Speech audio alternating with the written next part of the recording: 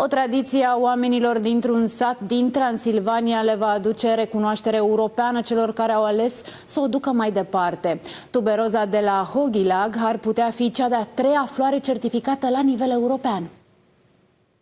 Tuberozele parfumate din mica localitate transilvaneană ar putea să concureze oricând în frumusețe cu vestitele lalele olandeze. Eleonora Costea le cultivă de 30 de ani. Dimineața prima dată nici la găini mă duc întâi viu la ele să le văd. Și le cânt, când ud, când furtunul le cânt într-una. Mă sunt și eu bine, dar și ele văd că să sunt bine.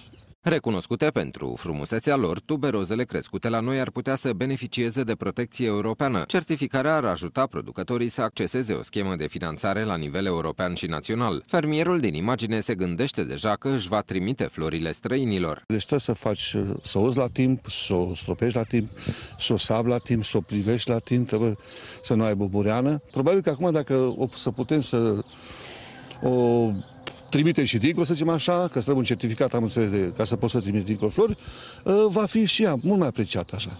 Am înțeles că se pot face și uh, esențe, și parfumuri, și sunt și tuberoze de Olanda, dar n-au specific mirosul. Este un uh, echilibru ideal între uh, mineralele oferite din sol, uh, nutrienții solului, uh, temperatura de-a lungul anului, media temperaturilor anului și de asemenea nivelul precipitațiilor și o fac să fie să se dezvolte în condiții optime aici. Dacă va primi recunoașterea străinilor, tuberoza de la Hogilang va fi singura floare de la noi din țară certificată la nivel european. Ne aflăm chiar în grădina unui român care a preluat uh, bulb de la Saș. Uh, un sas i-a dat acestui cultivator al nostru o mică pungă de bulb de tuberoză și a spus uite, asta poate fi un mână de pământ sau un bulgăre de aur, de tine depinde ce o să faci cu ele și se pare că oamenii noștri au transformat această mică punguță cu flori într-un bulgăre de aur.